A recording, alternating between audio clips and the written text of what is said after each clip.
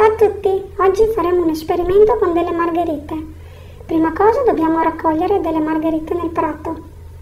Poi prendete tre bicchieri di plastica, metteteci dell'acqua e del colorante alimentare colorato. Io ho preso il rosso, il verde e il blu.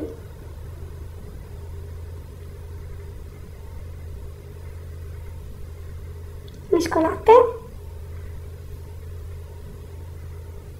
e poi prendete le margherite che avete raccolto precedentemente, le tagliate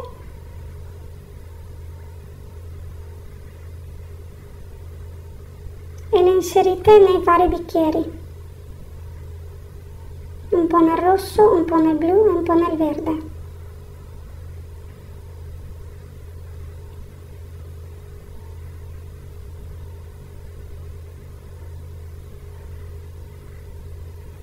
Volta, una volta finito li lasciate qui e poi il giorno dopo guardate le margherite hanno preso colore. Ciao!